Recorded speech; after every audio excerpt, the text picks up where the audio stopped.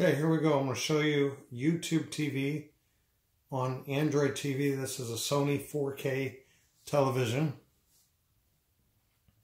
And I want you to notice how quickly it starts up. Uh, if you want to just hop into something live, boom. I'm going to mute this. Now if I hit channel up, it immediately shows me a quick guide. I like this feature much better than the Roku TV in that I can hop around from one thing to another rather quickly. And then I hit the, uh, the enter button and boom, we're watching CW.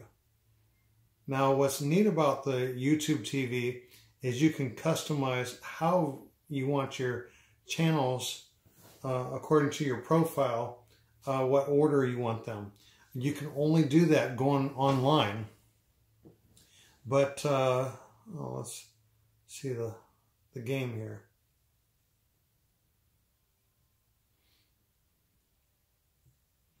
Now, the one bad thing about uh, YouTube TV is, well, I compare it to PlayStation Vue. Really like PlayStation Vue because if you select NCAA basketball, it's going to save every single NCAA basketball game for the next 30 days.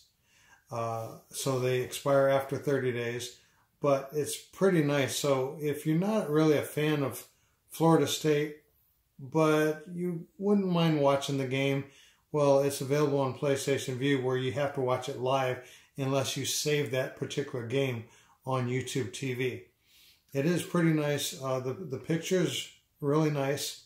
Again, the choice of channels is kind of limited. Now I hit the down arrow and you get the same kind of guide as what you get in the Roku TV. So I can go back to live uh, guide, which is what I basically hit when I hit channel up or channel down.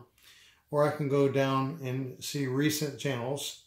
So it allows me to pop in and out. Now I was just watching this on the Roku TV and you notice how well, how quickly it popped up.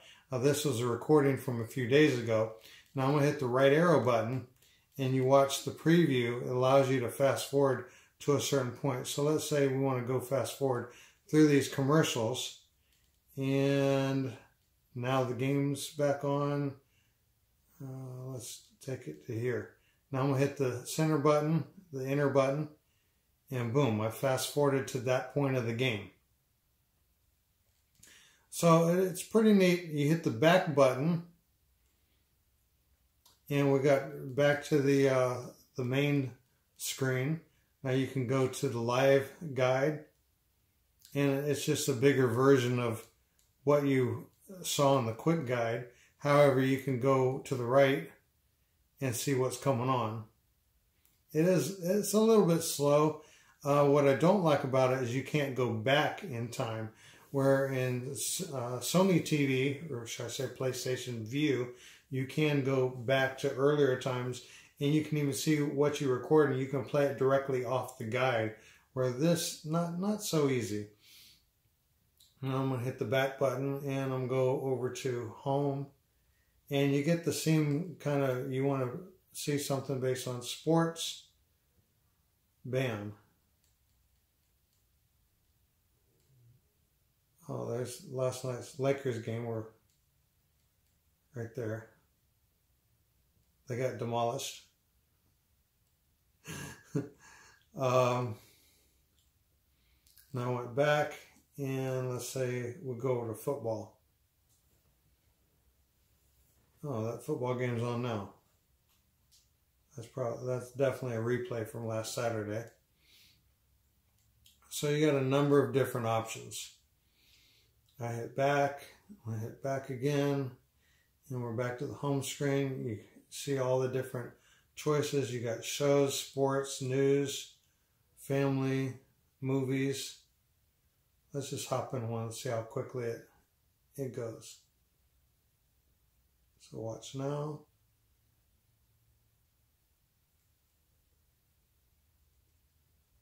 All right, now let's say we want to rewind it. Let's see how far back we can go we can only go back as far as the current.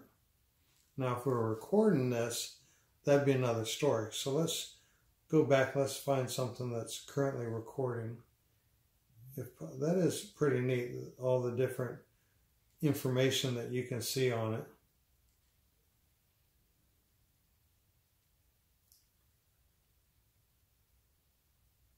Oh, that's neat. Shows a number of different shows starring the actor. And it also shows related on YouTube. And then similar to this movie. So there's a there's a lot of fancy features that are available in YouTube TV.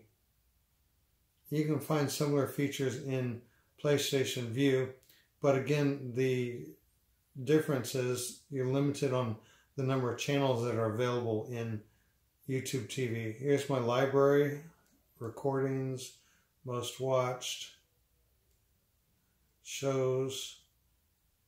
These are shows that I've recorded.